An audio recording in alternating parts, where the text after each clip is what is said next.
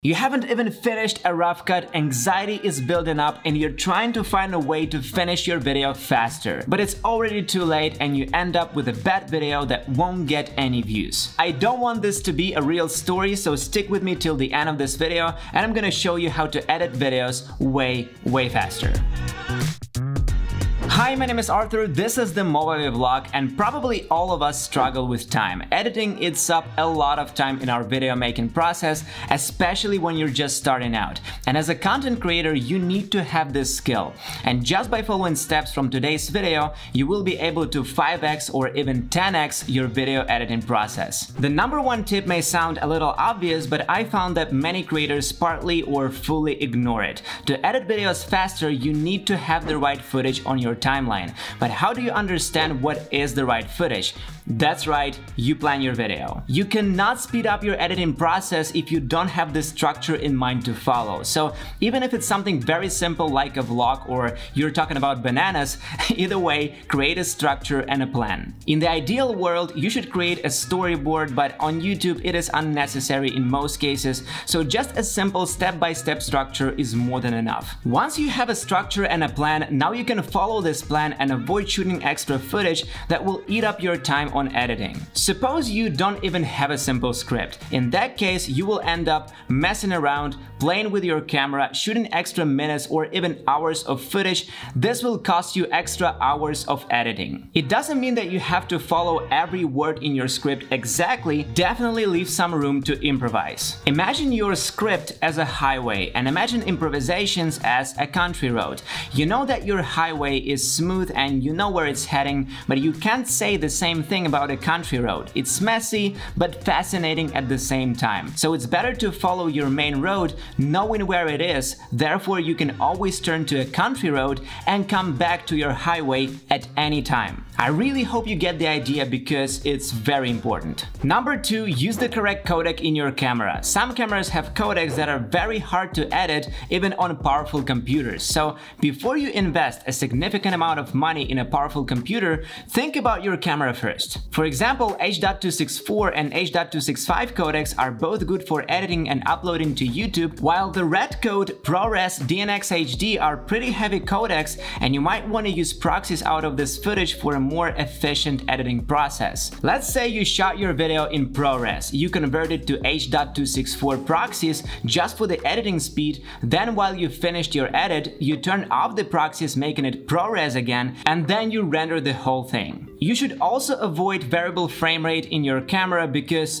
it's a nightmare. You know when you shot something on your iPhone, you move this footage to your computer and there's this 25.04 frames per second. You will need to convert this footage to a constant frame rate. So if you can change this setting in your camera, definitely do it. This will save you a ton of time. Use presets. This might be your color grading presets or maybe your transitions and animations that you use every now and then. Presets are really handy because you don't have to do the same thing over and over again. That's why the Movavi Video Editor is perfect for quick video editing. The interface is intuitive, all the basic tools you might need as a beginner are already there. Also, you can get themed Movavi add-ons to adjust the build and media collection to your own taste and needs. The Movavi effects integrate into the app which makes applying them very convenient. I recommend you to take a look at the annual plan. It might be a very good option for a beginner beginner, its price is lower than the price for a lifetime version and you get 12 month access to all the features and updates, which is enough for finding your own editing style. And when your subscription runs out, it's completely up to you to decide whether you want to renew. Basically, it's just more convenient than starting with complex and expensive software for pros. The one-year subscription to Movavi Video Editor Plus will be available at 15% off by the link in the description or pinned comment. So feel free to hit the link and share it with your friends. Once you have your presets ready for use, you should start thinking about your assets. These are some digital elements for your videos like pictures, graphical elements, music, sound effects, and so on. It will speed up your process a lot, especially on YouTube because you don't want to spend time looking for new music every time you edit your video. And the same goes for every digital element in your video. You download it once, then create a folder for it so you can quickly access this footage every time you edit your video. Not to mention that on YouTube you have to stay consistent with your style and you don't want to jump from one graphical element to another, you should create a system that works. So make an assets folder and a few subfolders for your convenience. Use shortcuts. This tip alone will dramatically speed up your process if you will learn to use them correctly. When you avoid using shortcuts, just manually clicking with your mouse, over time you will get used to it and think that it's the fastest way of editing. It looks like a small thing, but it might save you hours. And here are my favorite shortcuts in the Movavi Video Editor Plus. Control N or Command N for Mac users to create a new project, Control O to add some new clips to the timeline. You can hold Control and click on the left or the right arrow key to jump from one second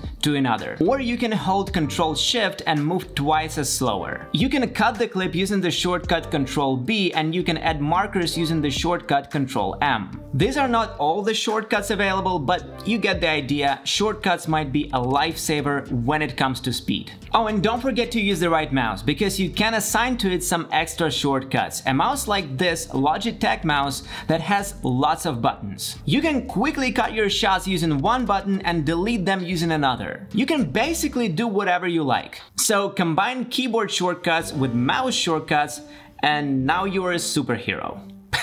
Eliminate distractions. Distractions like notifications on your phone and noisy workplace. While you edit, you should be focused only on this task. Humans are really bad at multitasking. Therefore, limit your time on editing. Close the door, set your phone aside and focus just on editing. I recommend you warm up for 20 to 30 minutes and the actual editing process should take you around 1 to 3 hours. Our brain works in cycles and after approximately 3 hours hours of a straight focus on one task will make us very exhausted. That's why there's this Pomodoro technique that can be really helpful for keeping your cycles in control. Focus is really important when it comes to speed and efficiency. Stop watching your video. This is what happens. You've edited a scene and thinking, wow, it's so great, let's watch it again. Then you add a music track and watch it again, then again, and again and you wasted two hours before you know it. Please stop doing this. At first, focus on getting the work done and watch your video again